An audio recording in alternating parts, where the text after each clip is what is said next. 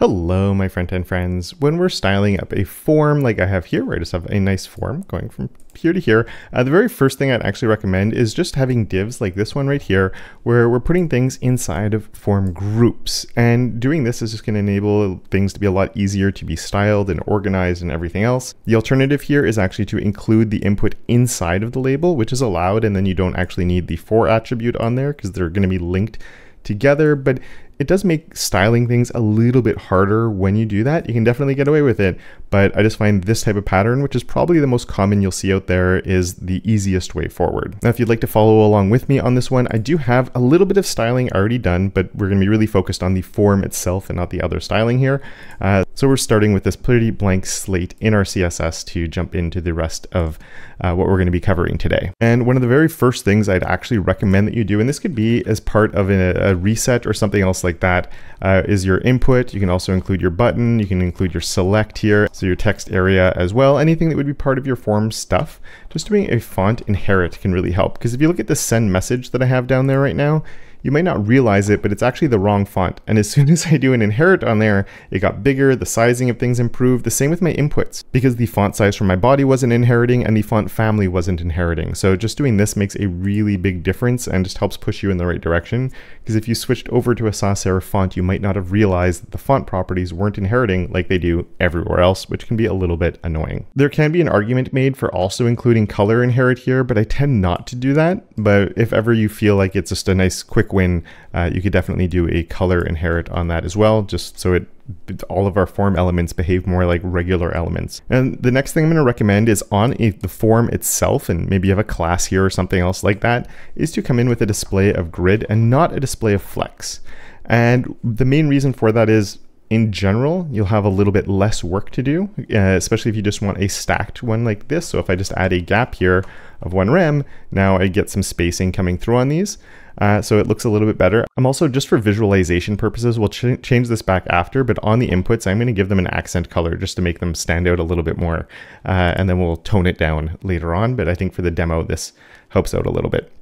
Uh, so yeah, I, I, do think using a display of grid on the form itself can definitely help out. The one thing you do want to watch out for if you do this is you can see my button is now stretching the whole width across. The reason I like going with grid though is it means if I do want to change my layout here at all, I don't have to worry about extra markup or anything like that, right? So if I do want this at large screens to be two columns, I can come in with a media query. So we can say media, and we'll say a width is greater than, I don't know, 720 pixels. And then we can say a grid template columns, and we'll just go up to two columns. So I'll do a 1FR, 1FR. And then I get my two columns coming in. And then if we do this at smaller sizes, it goes back to one column. So we go from two to one. Now the layout's still kind of really wonky and problematic. We'll fix this up a little bit uh, as well, but just nice quick win right there. And again, the nice thing with this is I don't have to worry about wrapping extra divs around things to make columns or change the order of things or other stuff like that. We do have flex wrap as well. I just find this is a little bit easier to do. And while we're on the topic of a display of grid here for the form itself, I'd also recommend using a display grid for the form groups. This one you can make an argument for Flexbox if you want to keep them one next to each other like we have right now. But I find most of the time you have the label on top and then the input will go underneath it.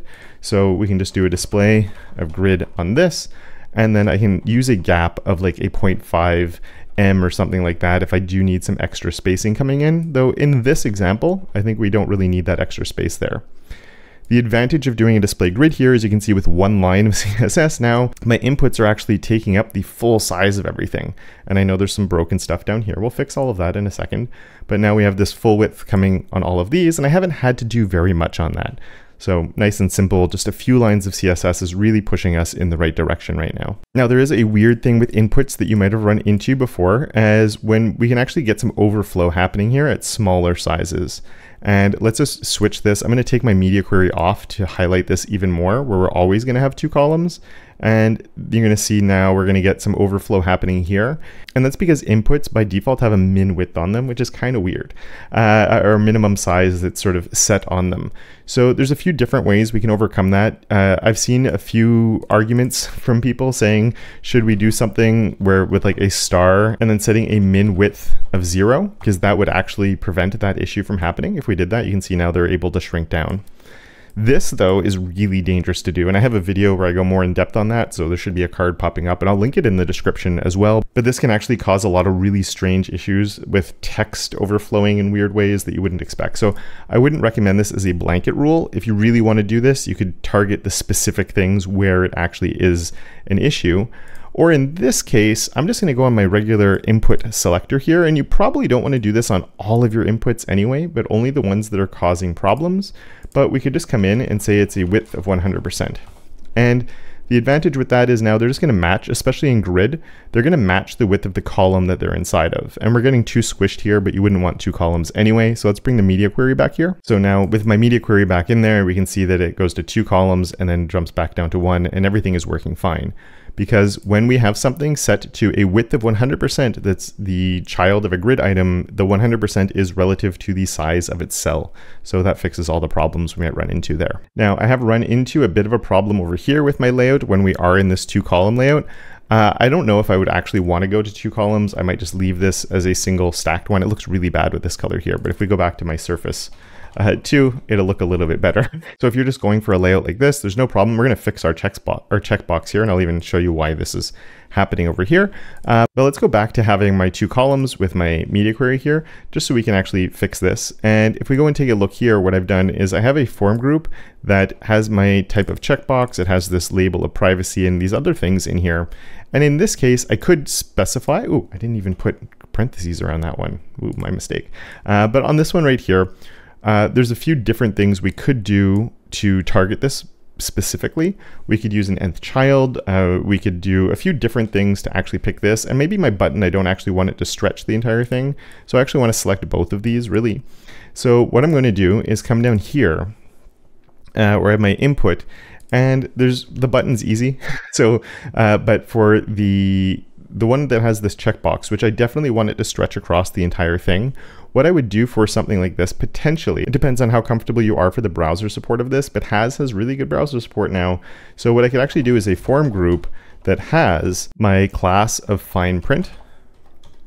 And just to look at why this is actually going to work before I do it, if we come back here, I have a form group, and inside of that form group, so if I look at these here, one of those has a class of fine print. So I'm selecting the form group that is for my fine print. And there's other ways you could do this. You could, if you have access to the markup, you could obviously come and change uh, something there. We could have a span all class or something like that. Because what I'm going to say here is grid column is going to be a 1 over negative 1. And now when I do that, it's actually going the whole way across. Let's just add a background of red here so we can see it. And you can see it's going from one side to the other. It's really important we use the 1 over negative 1 here. And the reason for that is when we go down to one column, we still, we don't want it to like add extra columns. And if I said 1 over 3, it would actually be adding an extra column. We're not going to see it right now, but you can see my, my column sizes are actually a bit wonky if I do that. Because you're actually going to see when I get to smaller sizes, we're creating extra columns and the columns are wonky and there's issues coming up now. And that's because if I said the 1 over 3, which works at the large screen sizes where we had three line numbers, uh, but let's go and turn on our grid here really fast. I want to turn on this one right here, and you can actually see I have two columns coming in where we have a line 1, a line 2, and then a line 3 being created. Because I'm telling it it has to go to line 3, the browser goes, well, I need three columns, or I need two columns to have three grid lines. So it's going to make an extra column when I do this automatically just to account for that. And then these inputs are going to go into those columns. So at large sizes where I declared that, that's fine. But when I get to small sizes, I don't want that to be there. Whereas saying negative one, it just means go from one extreme on one end to the other extreme on the other end. So if I have one column, it's going to stretch that full column. But when we go up to two columns, it's going to stretch across both of those. And if I went up to three or four or five, it's always going to take up the full width of the parent. So we can turn off my dev tools now. So we have something that looks a little bit like this. Obviously it looks a bit funky right now, but if we took off the red background, it doesn't look too bad. Uh, I think it looks all right like that. My send message looks a little bit weird. So for something like this, I might actually say form button, or if I had a class on this button, I might select it, or this is my contact form as well, so contact form. I would probably want to be a bit more specific about this just because I wouldn't want this necessarily applied to all of my buttons, but something like this to me makes sense, where then I can say in align self of start. uh, and actually not align self, we're in grid. So justify self actually works and I can line it up there. Or if I wanted it all the way on the other side, which I don't want to do in this case, just because I think it's going to make the layout look a bit funky with the text that's here. But if I did want to line it up on the other side, I could just use my grid columns that we saw before, where I'd come in and say a grid column of 1 over negative 1, so it doesn't create any extra columns, but it gives me the whole space on the bottom to work with. And then here we could just do a justify self of end instead, and we could have our button over on this side, which is quite common depending on the layout that you're working with. And just once again, now if we're at smaller sizes, we're perfectly fine. And at bigger sizes, it's also working. So it doesn't matter how many columns we have, we're using the same trick right there. Cool, so I'm actually gonna turn this off though, because I don't want that for my layout. And I'm gonna do a start here, and I wanna fix this up because my checkbox is in the wrong place, which is no good. So we're going to do a few fun things here. And this is where like you might be saying, uh, if you know me, uh, I am a big fan of grid and I use grid for a lot of things, but this is a good use case for using Flexbox. So what we're going to do is let's come back here where I'm looking at my fine print. And I want to specify this form group anyway, so this is perfect, where we're going to switch this form group to be a display of flex and hit save. And you can see that sort of fixed things, but it's caused some other problems uh, while we're here because of the way the Flex is working on this. And the reason this is happening is because I did an input of a width 100%, which is probably a little bit not the smartest thing in the world to do. Uh, so this is being caused because all of my inputs are now getting a width of 100%, including my checkbox. So the two options really here are instead of saying an input of 100%, is we could come down and we could list out all the ones we want. So I could say that the type is equal to text. And then I could also say we have an input type is equal to password. And you'd have to go through and list all of the different ones where you actually want this to apply. And depending on what you're doing, that might be completely fine. You might have, you know, in this case, I don't have very many that are there, but I do have quite a few because I have my uh, type of telephone, my type of email, my type of text. I don't have a password in this case, but it's still, a long list and it could be quite a bit longer. So sometimes the easier is actually to work the other way around. So we could say that we have, if we have an input and then say not, and in here list the ones we don't want. So we could say not type is equal to checkbox, comma, and we can put another one here. We'll say type is equal to radio. And if you had other ones you'd want to include in here, you could add those as well, uh, just to make sure that only the ones you want are not getting it. And I find it's a little bit easier for certain things to work this way, where we're working in the negative sense instead of in the positive sense. And then here we could say this is a width 100%. And now you can see my checkbox isn't being affected by that. And let's just turn off this display flex that I added before. They were stacked and now bringing in that display of flex works how you'd expect it to, where my checkbox ends up over here, and then we just have my text coming right after it. And we want a space between those. And for this space, a nice little bonus tip here is on my gap, which I'm going to use, instead of trying to be like 10 pixels or one rem or something like that, a really nice unit to use here where we're dealing with sort of a string of text and we want some spacing on there. And it depends completely on your design and everything else. But you could come in with like a 1ch. And that 1ch is one character wide. So turn that off, we can see it's stuck, and then I can come in with my 1ch and it adds about a character of space. It's a bit wide because it's not looking at the space character, which is actually quite narrow. It's looking at the space of uh, it's the size of the number zero, so it will also depend on your font. So maybe if you find it's too big, you can even come in with like a 0.5, which might align more with the actual size of a space, because spaces tend to be quite a bit smaller than regular characters. And I have another little bonus tip for this area too, if ever you find the spacing is off that we'll look at in a second. But before we get to that bonus tip, I'm actually going to come up back to my input selector here with another bonus tip, and we're going to come in with an accent color, and I'm going to use my var accent.